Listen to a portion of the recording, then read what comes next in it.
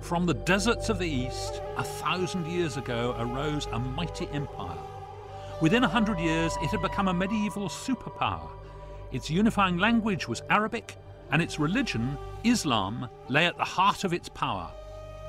Much of the knowledge and many of the inventions produced by the Islamic world are still with us. For example, What has this piece of ancient technology got to do with this? My bicycle.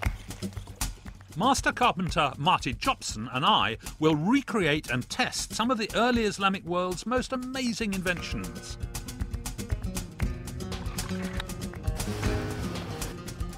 Roving reporter Amani Zain is going to travel to where it all took place. She'll be exploring the stories behind the golden age of Islamic discovery.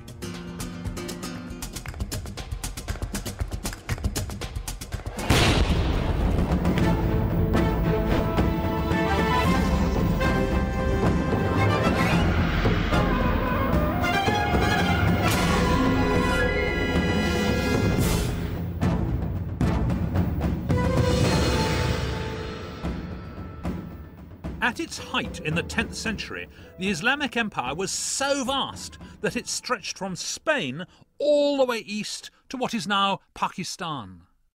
The ideas and the inventions of the Muslim world have had an enormous and lasting effect on the world we live in today.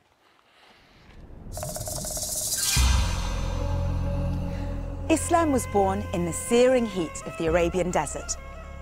Most of it is a vast, featureless ocean of sand, scrub, and rock. The early peoples of Arabia were nomads who traveled the sands on camels. With little or no landmarks, it was vital to know where you were going. It was too hot to travel during the day, so journeys were undertaken in the cool of the night.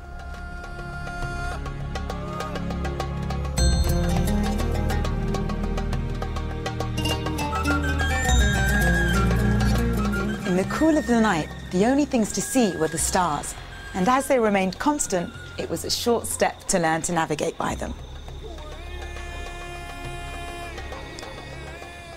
Astronomy was virtually abandoned in the Europe of the Middle Ages, but in the Islamic Empire, the science flourished. Across the Islamic world, from the deserts of Arabia to here, Alhambra in Spain, these early astronomers probably worked from minarets in mosques just like this one.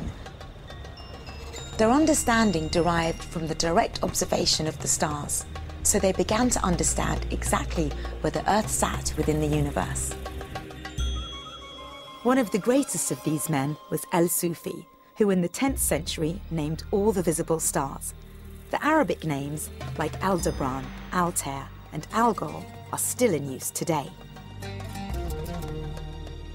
Probably the greatest feat of Islamic astronomy was achieved by Al Khujandi. He was able to complete the most staggering of calculations, which helped close the book on an age old question. The seasons changed because the Earth's axis is tilted, but by what amount had been one of the great astronomical questions of the day. We get seasons because the Earth is tilted in space. Here we are in space, here's the Earth, the big red ball is the Sun, and this is what's called the plane of the ecliptic. Now, suppose the equator was in the plane of the ecliptic like that, then we would have no seasons. But it isn't. The point is, the Earth is tilted like that. Here, we're tilted away from the Sun. If we were like that, the Sun's rays would be coming much more directly than they actually do in winter. Anyway, here we are going through the seasons now. We're getting to sort of February, March, April, May, and then finally June. And we've now got to midsummer and we've still got the same tilt, but now we're tilted towards the sun. So the sun's rays are now coming much more directly, longer days, hotter sun, that's summer. The first chap who realised that the Earth is tilted was Eratosthenes, the brilliant Greek mathematician who lived in Alexandria and worked out the circumference of the Earth more than 2,000 years ago. But he didn't know what angle we were tilted at, and astronomers worked on that for ages.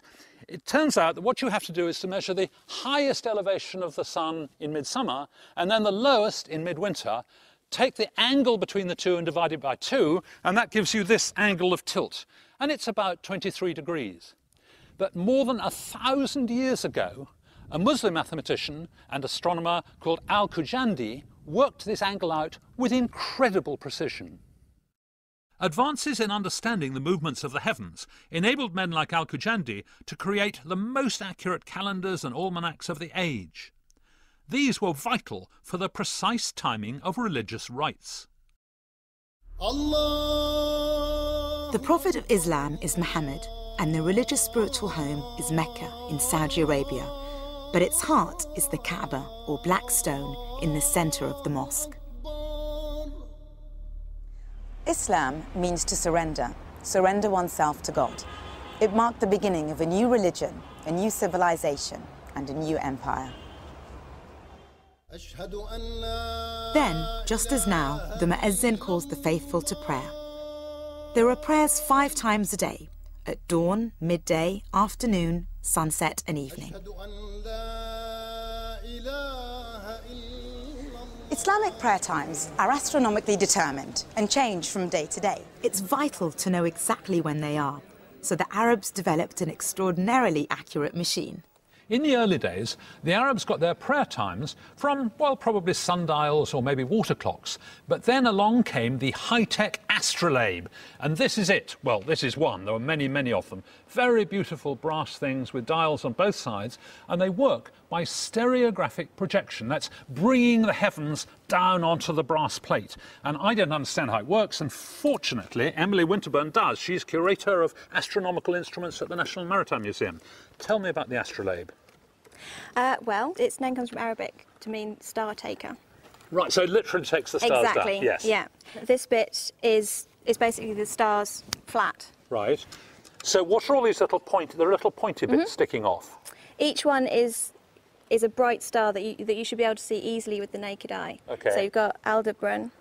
Oh, right. Um, and Altair. Alt- yeah, exactly. And so it's the very point that points Exactly, at them. the very, very tip. That's that's where the star is in relation to the other stars. Okay. And then this bit here is uh, where the sun is The over circle. the over a year. Yeah. Okay, so suppose we want to tell the time. Mm-hmm. Uh, what do we do first? Okay. Well, first of all, you find so if you're if you're doing it in the day, Yes. you find the height of the sun. Well, we don't have any sun with typical, you know, cloud. But let us imagine that the sun is just coming through that window over there. Okay. What do we do? You would hold it up by the okay. ring. Like this, Yeah. right? Okay. And because it's the sun, you wouldn't look through it. You would you would get the sun to shine through. Through, through the holes. Exactly. Okay, so I'm imagining, I'm not, I'm not, not looking at the sun, mm. I promise you. And you hang it from your finger so gravity is keeping it vertical, yes? Exactly. Yeah. Okay, so that's nicely lined up now. Okay. There you are. I hand it over to your. Okay. So Tender from that, you can read the de- you can read the degree Right. degree scale. So that tells you the height above the horizon that the sun is. Once the height of the sun relative to the horizon has been set against the day of the month, the exact time can be read off from the hour markings round the edge. In our case, it's 8 a.m. Can you use this to predict things? Yeah, you can work out uh, when the sun is going to rise and set. So important